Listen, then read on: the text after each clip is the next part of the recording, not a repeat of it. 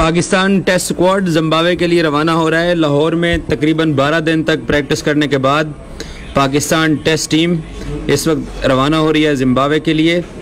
Azhar Ali Pakistani team के सबक कप्तान और मुस्ंद बैट्समैन टेस्ट टीम के रेगुलर मेंबर हैं पाकिस्तान टीम के। अपने साथियों के हमरा, पाकिस्तानी टीम इस वक्त जिम्बावे के लिए रवाना हो रही है। जाहिद महमूद भी जा रहे हैं। इनके बारे में कहा जाता है कि ये जहाज़ में बैठने से थोड़ा इनको मसला था, लेकिन अब ये दीगर खिलाड़ियों के साथ जा रहे हैं।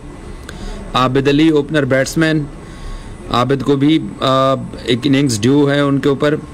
पाकिस्तान की टेस्ट टीम जिम्बावे के लिए लाहौर से रवाना हो रही है। बड़ी अच्छी प्रैक्टिस की मुश्ताक अहमद, मोहम्मद यूसुफ और सकलैन मुश्ताक ने बड़ा ताउन किया इन खिलाड़ियों को। टेस्ट मैचेस के लिए, जो जिम्बावे ख़िलाफ़ होने हैं, उसमें तैयारी के लिए काफ़ी मदद दी। काफ़ी नौजवान प्लेयर्स भी टेस्ट स्क्वाड के अंदर शामिल हैं। धानी को स्पेशली